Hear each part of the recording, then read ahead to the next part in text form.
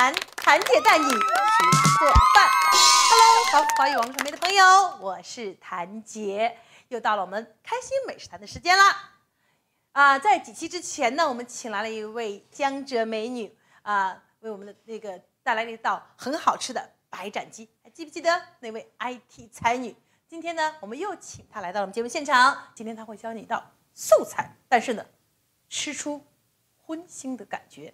好了，我们先来有请 Stella 袁艺珍，艺珍，欢迎你又来到节目现场哈。今天呢，听说你要带来的是一道素菜，但是呢，吃出荤腥的感觉，那是什么素菜嘞？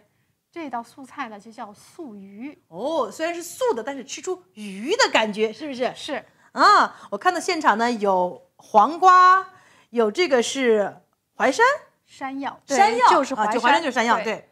然后呢，这是一一张腐皮，好像是，对，这是张新鲜的腐皮，呃，还有一块姜，对，还有一块姜，对。然后呢，还有一些辅料，当然这边呢是有老抽，老抽，这个是盐，盐这个是糖，这里呢还有这个料酒，还有这个生生抽还有一些油，食油，就这么简单。就这么简单。好了，那我们今天把操作台交给你来展示一下，呃，怎么样来做这道又好吃又健康的素鱼。好，谢谢。这个素鱼呢，就是是我们中国传统素斋的一只一个比较典型的菜。这个素素斋呢是讲究说不用这个五荤的，所谓五荤呢就是小葱、大葱，或者叫胡葱，哦，葱都属于荤腥，对，还有洋葱，哦还有呢是指那个就是我们的韭菜。最后一项呢就是这个蒜，大蒜，哦好像是这个有辛辣味道的，他们都把它列为那个荤腥了，对对不对？它这个五这个五荤呢，我们也是叫五腥，所以它这个确实嗯大家就不能用。所以有呢，我们这汤呢就是难怪只有姜没有葱了，对只有嗯。姜了，就嗯我们要只有用这个姜来调这个鱼的味道。对对对对对，，那个山药呢，就是我们现在这个第一步要做的步骤呢，就是我们需要这个把这个山药去去皮。对，这个山药呢，这个汁儿呢是对皮肤是能够造成就是瘙痒，就是有一点过敏的感觉。所以呢，我们就是戴一副手套。好，然后我呢，我们就把这个山药这么切一下，也不需要切特别多，两头我们就不要了，因为两头暴露在空气中，对，不是特别的新鲜。就这样切成四段，打段儿，对，打段儿。嗯。然后呢，我们就把这个山药呢，就放到这个水水里面好，那我们就慢慢煮着这山药。好，这山药呢，其实是个特别健康的食物，它也叫淮山，它是真的是一味中药。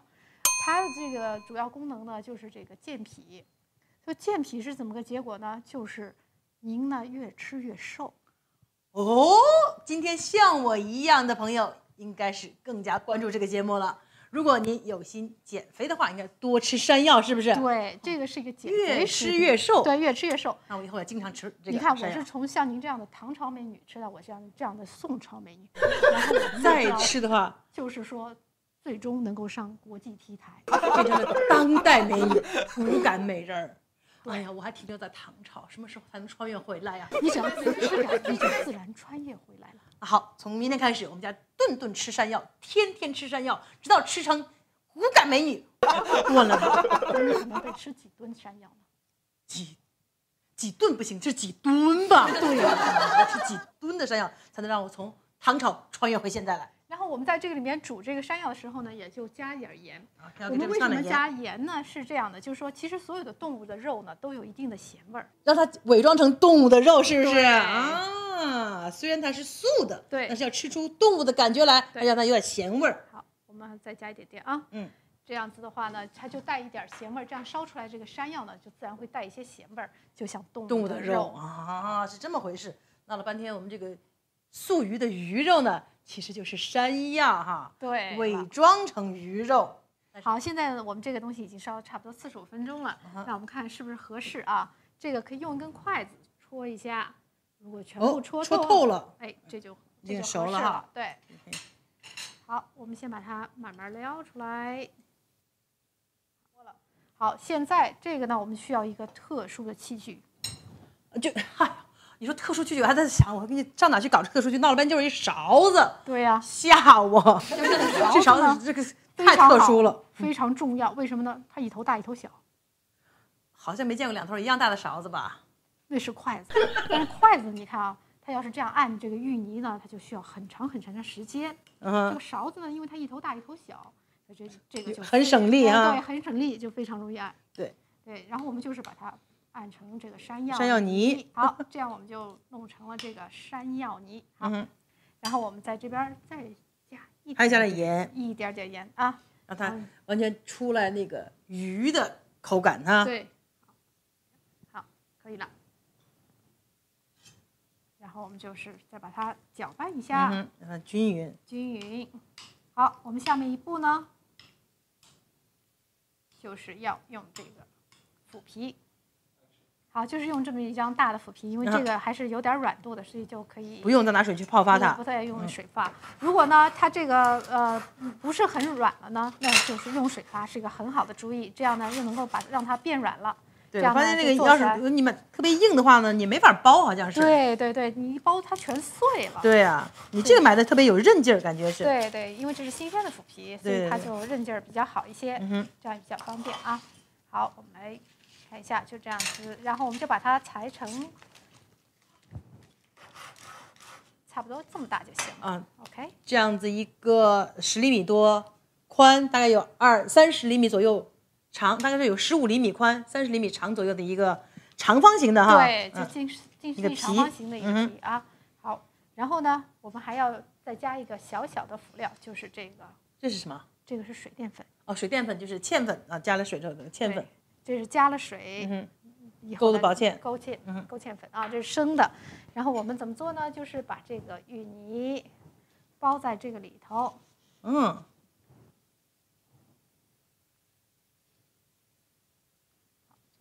然后呢，我们把它包起来。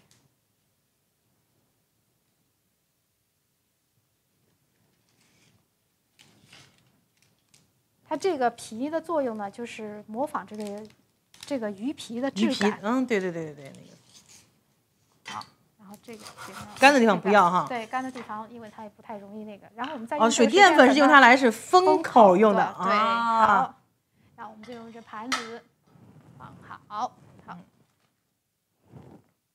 你看，你要不要试一下？好，我来试一个，操作一个，把这个山药泥对舀一勺放到这个腐皮里面，嗯，很漂亮。然后要给它弄成稍微长方一点，是不是？对，长方一点，对，好包一些，因为这个腐皮也是方形的，长方形的。对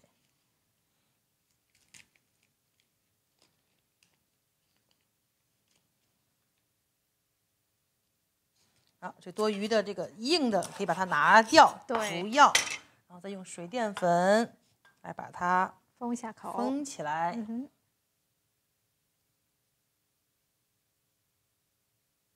好，这就是一条鱼喽。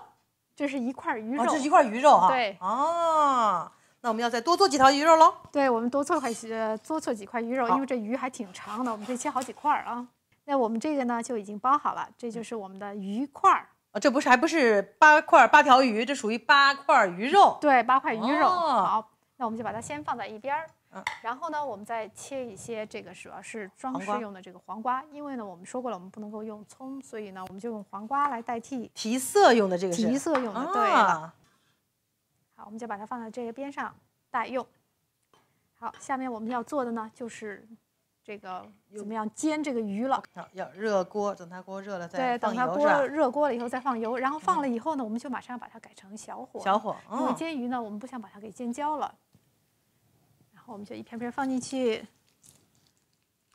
这个锅呢，我们可以放四片鱼是没有问题的，就煎两锅。哎，就煎两锅，那我看这个下面好像已经有点焦黄，是不是哎，就可以，翻了？这就可以了，就是哦，就哎，弄到两面金焦黄了黄，就这样子就很好啊，脆脆的。啊，它这主要呢是为了模仿这个红烧鱼的这个，也是要鱼脆哈，啊那个焦焦的鱼皮的感觉。，对，咱们也是先要把鱼皮给煎焦了。这样看起来真的像鱼块儿。啊是，您在这儿先煎着鱼呢，我就打算就把这个姜先切做些辅料啊哎，，对，咱们就把这辅料。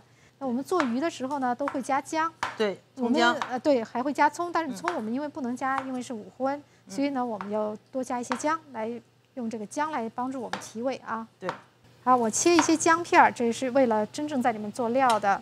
然后我再切一些姜丝，这些姜丝呢会和这些黄瓜放在一起，作为上面的装饰装饰。嗯，哎，我这边两边已经焦黄了，对，非常好。你看，那不能使劲再翻了，再翻就该碎了啊。对对对，这个做素鱼呢，还有一点很重要，就是要少翻动，尽尽量把一边焦煎个完煎煎了焦黄了以后，我们再翻到另外一面去。